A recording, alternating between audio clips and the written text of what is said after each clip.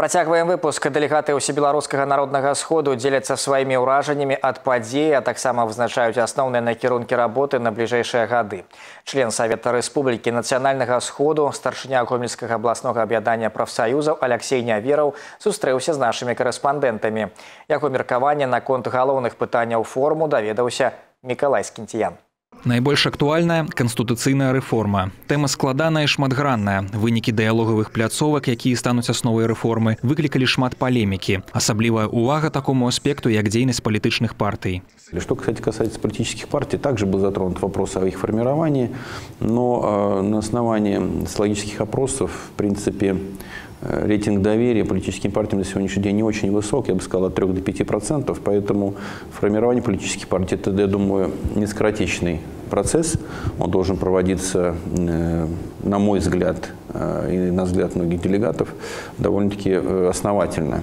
Формирование партии, какие-то новые критерии по созданию партии, по численности и так далее, и так далее. Кіраўніцтва дзяржавы надае вялікае значэнне беларуска-расійскім адносінам. Усходні сусед для Беларусі, надзейны партнёр і сябар. Алексей Нявераў згодны, што падзеі мінулага года доказали гэта. Именно удержание государственности, не вмешательство в дела нашей страны извне, и тем самым э, доказать, что союзное государство действительно является реальной структурой, которая э, действует и которая помогает нам осуществлять э, все наши планы. Яшчэ одно важное пытанне сацыяльная палітыка. Падтрымка пенсіянераў сацыяльна ўразлівых слаёў насельніцтва немагчыма без зладжанай падатковай сістэмы. Менавіта падаткі з'яўляюцца асноўнай крыніцай фарміравання пенсійнага фонду. Аднак неабходна памятаць аб раўнамернасці папаўнення дзяржаўнага бюджэту. Если мы бюджет пополняем равномерно, с учетом всех субъектов хозяйственных, то это будет э, вполне нормальный э, процесс, как во всем мире происходит. Но у нас очень много фактов по стране, и об этом сказано было открыто. Выплата заработных плат в конвертах,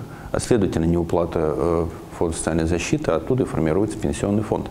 Поэтому здесь очень надо подойти всем серьезно к этому вопросу и э, с полной ответственностью. Э, иначе э, другого выхода нет, и были даны определенные поручения главы государства по поводу проверки данных направлений и э, значит, контроля за э, пополнением этого фонда Патрыятычная свядомасць павага да сваёй спадчыны абавязак грамадзяніна. Для ўсебеларускага народнага сходу гэтае пытанне стала аднім з цэнтральных. З яго актуальнасцю згодны і Алексей Нявераў. Патриотизм это, это не слова, которые нужно повторять на каждом углу и с лозунгом ходить по улице.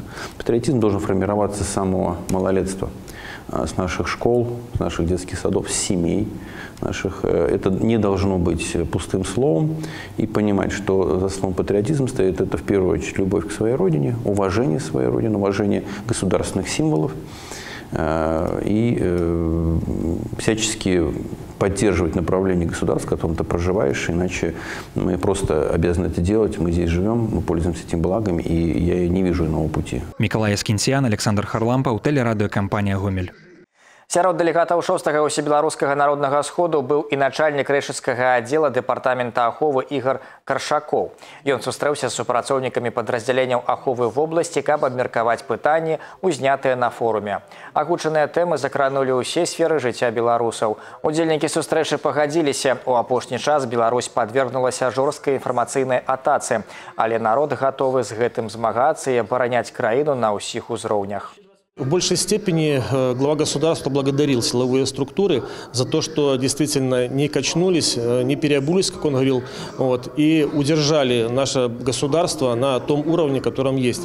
Хотя э, приводил в примеры он э, многие цветные революции, которые провод... были проведены в других государствах, но у нас он сказал, что это была не цветная революция, это был мятеж. И может быть действительно э, именно в том масштабе, который пытались проводить иностранное государство, дергая за ниточки, как кукловоды, здесь э, некоторых э, наших людей, подвергая опасности молодежь, потому что у нас молодежь навсегда подвергнута этому, особенно посредством интернета.